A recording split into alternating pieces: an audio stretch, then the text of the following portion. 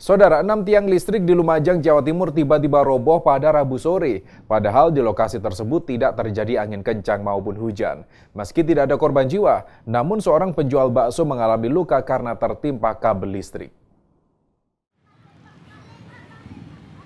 Jalan menuju pabrik gula Jatiroto, Desa Jatiroto ditutup akibat enam tiang listrik menutup jalan. Tiang-tiang tersebut roboh secara tiba-tiba. Sejumlah pohon dan tiang milik Telkom juga ikut roboh. Sebuah mobil rusak tertimpa tiang listrik, bagian depan dan belakang mobil ringsek. Beruntung sejumlah penumpang mobil selamat. Di tempat lain, penjual bakso mengalami luka di bagian pelipisnya akibat terkena kabel listrik, sementara rombong baksonya rusak. Pas waktu itu saya di sini duduk di sini, tahu tuh ada beruang itu, saya terus geletak di sini. Ini Langsung kena. jatuh barengan itu, Pak? Iya, jatuh kena, kena ini ya saya. Kena kabel itu, Pak ya? Iya, kena kabel.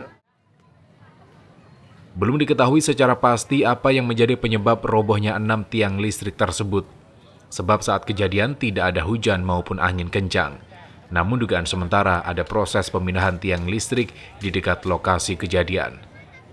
Informasi awal ada pekerjaan, tapi kita belum sampai untuk mendapatkan keterangan apa robohnya ini disebabkan oleh pekerjaan dari tugas PLN tersebut. Sementara itu pihak PLN juga belum mengetahui secara pasti penyebab kejadian tersebut.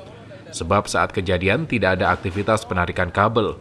Untuk itu pihak PLN akan melakukan investigasi terhadap kejadian ini.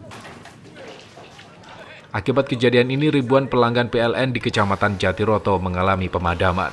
Saat ini pihak PLN tengah berupaya memperbaiki dan memulihkan jaringan listrik. Abdul Rahman, Kompas TV, Lumajang, Jawa Timur.